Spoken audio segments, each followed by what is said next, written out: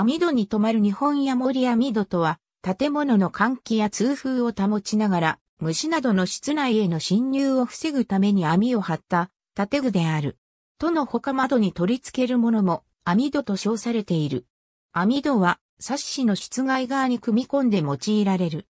かつて日本の住宅等は木造で窓枠も木製で隙間が多かったため網戸で虫の侵入を防ごうという発想はなく、就寝時には虫除けのため蚊帳が使用されていた。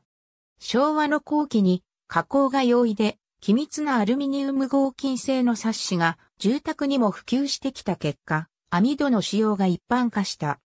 網戸用の網として耐久性が高いステンレス鋼が使用された例もあるが、現在、日本国内の網戸用の網の大半は耐抗性ポリプロピレンを材質としており、網を張る枠には大抵アルミサッシが用いられている。最近では目を細かくして防虫効果を高めたハイメッシュが人気を集めているほか、ペットの引っかきにも破れないペット用や虫が寄ってこない性質のネット、花粉や粉塵なども防ぐフィルター性の高い網戸など、様々な特徴を持った網戸が販売されている。